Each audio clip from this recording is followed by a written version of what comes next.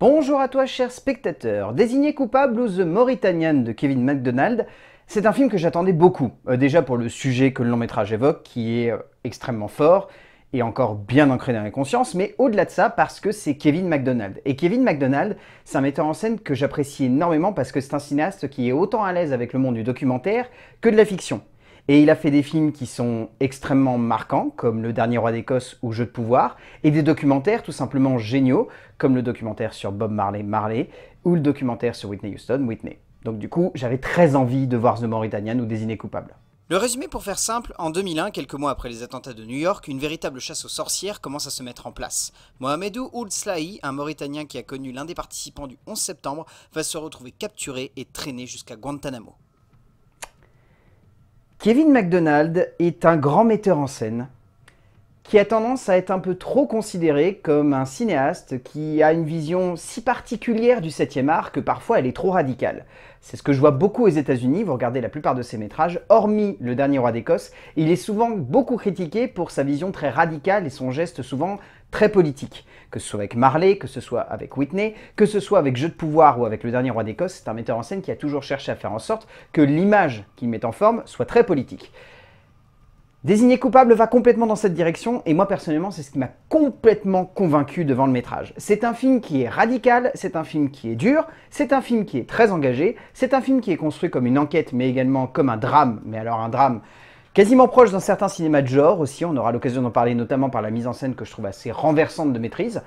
En tout cas il est sûr et certain que Kevin MacDonald a fait un film qui va diviser parce que pour certains ça va sonner comme un métrage nécessaire et important par rapport à une époque qui semble lointaine mais qui est encore bien entrée dans les consciences, alors que cette année on rentre dans les 20 ans euh, du fameux attentat qui est au centre de l'œuvre qu'il met en scène. Donc clairement, on sent que le long métrage, peu importe ce qu'il va en faire, ça va cliver. Et moi je fais partie de ceux qui adorent le film et qui considèrent que, objectivement, c'est un grand moment de cinéma qui est important et qui fera date. Les histoires vraies qui relatent à quel point être aveugle amène les êtres humains à commettre des erreurs irréparables donnent souvent lieu à des métrages tout simplement imposants, des œuvres sortant de l'ordinaire et se posant comme des moments de septième art importants et difficiles même à soutenir parfois. Kevin MacDonald nous revient avec une œuvre coup de poing, un moment de cinéma qui aurait pu se poser comme un métrage simple et révélateur d'une pensée et d'une époque, mais qui se pose bien plus encore comme une œuvre humaniste et profondément poétique, cherchant à raconter l'aventure d'un homme avant de parler d'une nation et de ses erreurs, donnant lieu à un métrage rare fort. En termes d'écriture, donc le scénario est basé sur le roman, enfin le récit, le journal de Guantanamo qu'a écrit Mohamedou Oudslahi avec Larry Sims. Et donc le scénario est écrit par Michael Brunner sous le nom de M.B. Traven avec Rory Haynes et Suram Nashirvarni. Euh, je trouve le scénario extrêmement ambitieux parce que la forme euh, est loin d'être classique. Elle peut être classique par certains artifices de mise en scène, entre guillemets, de mise en relief de certaines situations. Parce que pour vous donner un ordre d'idée, je trouve que le scénario de The Mauritanian a beaucoup de points communs avec le scénario de jeu de pouvoir, dans le sens où il y a cette idée de vouloir construire un jeu de manipulation sur plusieurs échelons, de vouloir à la fois montrer une avocate qui va se lancer dans la défense d'un homme que tout le monde accuse et qui est visiblement innocent, c'est jamais caché dès les premières minutes on cherche à nous montrer. On va nous montrer également l'opposition, c'est-à-dire l'État, ici représenté par un militaire qui est assez haut gradé et qui va se retrouver face à la dure réalité de est-ce qu'il y a assez de preuves pour condamner cet homme? Et tous ces jeux d'échelons, qui sont bien évidemment mis en relief par le fait qu'on soit constamment ou presque du point de vue de Mohamedou Oulslahi, ça fait qu'il y a plusieurs niveaux de lecture. Mais que ces niveaux de lecture vont se retrouver dans un besoin de montrer la réalité finalement du quotidien qu'a connu Mohamedou Oudslahi lorsqu'il a été à Guantanamo pendant, si je ne me plante pas, 2001, 2002, jusqu'à 2016, ouais, pendant 15 ans, ce qui est beaucoup, beaucoup de temps. Et honnêtement, le scénario joue beaucoup sur à quel point le temps est un véritable bâtard lorsqu'il choisit de pousser un personnage dans ses retranchements. Et ce qui est intéressant, c'est que ici on joue beaucoup sur un personnage extrêmement charismatique. Mohamedou Oulslahi est vraiment construit comme étant quelqu'un qui cherche le plus possible à tenir et qui cherche à se raccrocher à des petites choses pour réussir justement à passer les différentes étapes qui vont potentiellement l'amener jusqu'à sa libération. Et c'est ça que je trouve très fort, c'est justement cette empathie extrêmement profonde qui consiste à la fois à découvrir son histoire, en même temps de voir des gens essayer de se battre pour ou contre lui, et à la fin de voir chacun tirer son petit bilan. Et c'est finalement dans cette structure qui peut sonner comme extrêmement classique que les trois scénaristes ont réussi à construire quelque chose de très fort. Traven, Haynes et Noshirvani nous emportent dans un récit qui se veut proche d'un homme, proche d'une vision du monde, proche d'une Amérique qui se cache loin de son territoire pour exercer une peur et une terreur qui semblent avoir encore aujourd'hui du mal à sonner comme possible alors qu'elle est présente. De cette structure avant tout basée sur le regard d'un homme et sur la vérité qui se cache derrière, les trois scénaristes portent le récit de Slahi le plus loin possible, jouant à la fois sur une empathie profonde mais cherchant également à exploiter l'empathie immense des personnages secondaires pour ne pas simplement en faire un récit qui pourrait sonner comme pathétique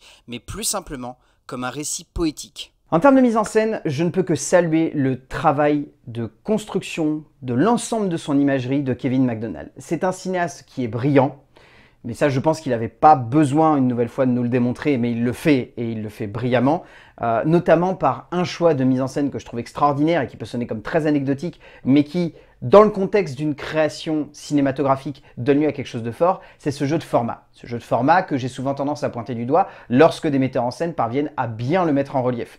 Et finalement, aujourd'hui, ils sont rares. Mais Kevin MacDonald, par le biais de ce format qui referme un petit peu le 2.35 euh, pour le passer en 1.85 durant les séquences où on se souvient finalement avec Mohamedou Oulslahi de ce qu'il a connu durant ses premières années à Guantanamo, et eh ben avec ça, pour moi, Kevin McDonald m'avait convaincu.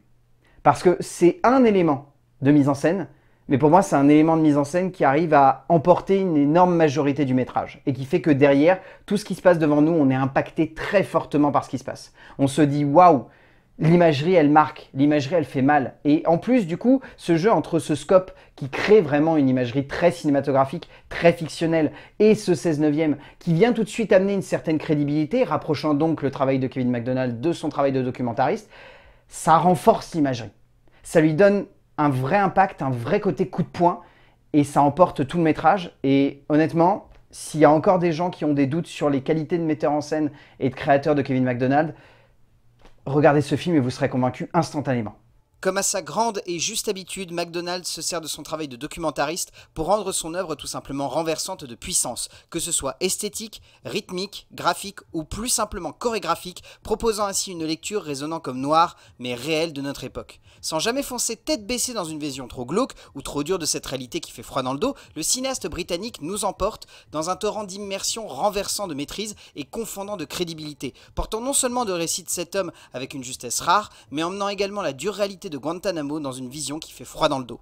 En termes de casting, je crois que j'ai adoré la grande majorité des acteurs. Je trouve déjà que Benedict Cumberbatch, qui a fait un gros travail d'accent, euh, en impose, encore une fois, mais ça n'est pas une surprise. Kevin, McDonald, euh, Kevin McDonald sait très très bien diriger ses acteurs, et là il emmène Benedict Cumberbatch dans un retranchement où il est purement et simplement dingue. Il, impose une présence dès qu'il arrive à l'écran, c'est assez hallucinant. Shenny Woodley est bien, je la trouve pas forcément extraordinaire, mais elle arrive à emmener son personnage dans une bonne direction. Jodie Foster est magnifique, vraiment. Elle est extraordinaire et je la trouve absolument folle du début à la fin.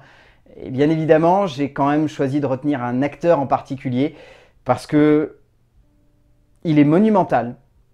Il vient de délivrer l'une de ses plus belles interprétations depuis un prophète. Bon, les deux rôles sont un peu liés, mais là, ouais, il est, il est fou. Tahar Rahim est rare ici. Il est tout simplement parfait, passionnant de bout en bout et d'une crédibilité à toute épreuve, et cela fait un peu mal au cœur de le voir ainsi oublié d'une cérémonie des Oscars où il aurait pu s'imposer très largement. Au bout du compte, Désigné coupable ou The Mauritanian est un film que j'ai trouvé extraordinaire. C'est vraiment une œuvre impactante, renversante, brutale, dure, mais en même temps nécessaire et presque indispensable pour l'époque dans laquelle on vit. C'est un métrage qui rappelle à quel point l'être humain est cruel, mais lorsqu'il choisit de faire les choses pour le bien, il peut ramener un peu de justice dans ce monde. Et Kevin MacDonald met ça en scène d'une manière tellement brillante que si vous avez l'occasion d'aller voir Désigné coupable de Kevin MacDonald, n'hésitez pas une seule seconde, c'est un grand moment de cinéma. Et c'est bien dommage qu'il n'ait pas été présent aux derniers Oscars parce que je pense qu'il aurait pu avoir pas mal de prix. A plus